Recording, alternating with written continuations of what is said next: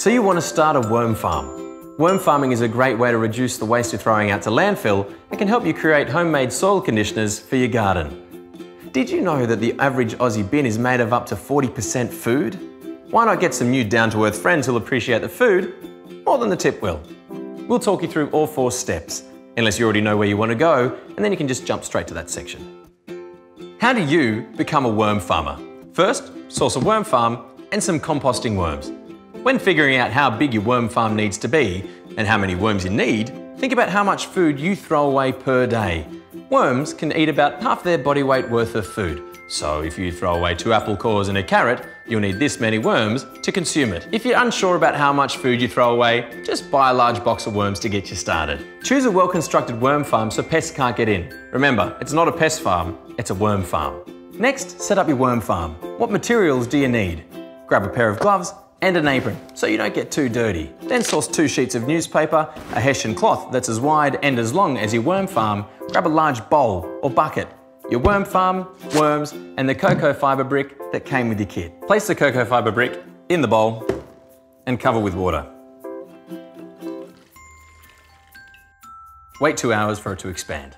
While you're waiting for your cocoa fibre brick to expand, move your worm farm into a cool, dark, dry area away from the hot sun.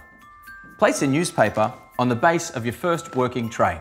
Once your cocoa fibre brick has expanded, grab it out of the bowl and layer it over the newspaper. It should still be quite wet. Add the worms on top of the cocoa fibre and newspaper, keeping any bedding that came with them. Then cover with the worm blanket.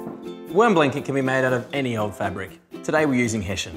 And now, let your worms settle in for a week.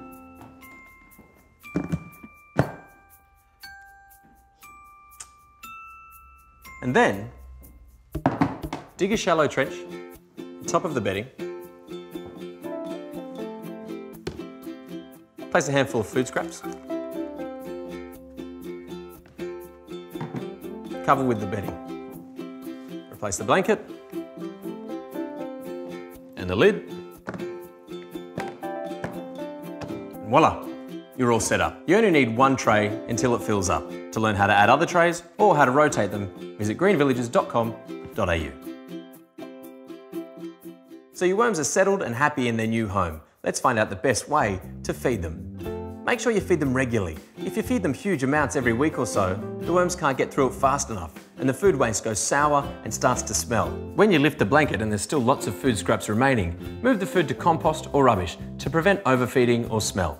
To add more food, dig a new trench next to the previous one. Continue this till you reach the end of the farm, then jump back to where you started. There are a lot of different food scraps in the average Aussie kitchen. Here's a list of some that you can feed them. Raw and cooked food, vegetable scraps, coffee grinds, tea bags, and little bits of paper and cardboard. Here are some that you should try and avoid. Dairy, bread, meat, and eggshells. And here are some that you just can't put in. Onions, garlic, uncooked potato skins, and citrus peel. Click below for a free printable label for your worm farm of a full list of foods they like or don't like. Make sure you tear the food up into small pieces because worms have small mouths. And finally, make sure to check the water levels. The bedding and food scrap should have the same level of moisture as a wet kitchen sponge.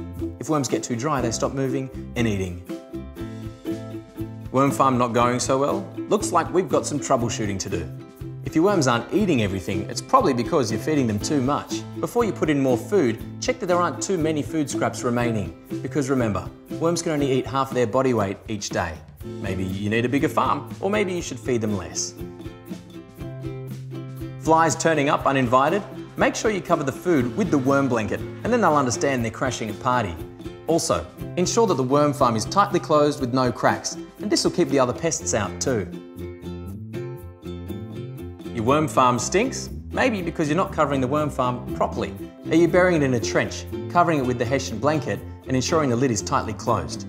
Remember when we said don't feed them meat, bread or dairy? It's not because they're gluten intolerant lacto-vegetarians, it's because it makes for a stinky farm. Thanks for watching. If you want to recap anything, click on the links to my left or right. Or for any questions, head to greenvillages.com.au. Happy worm farming.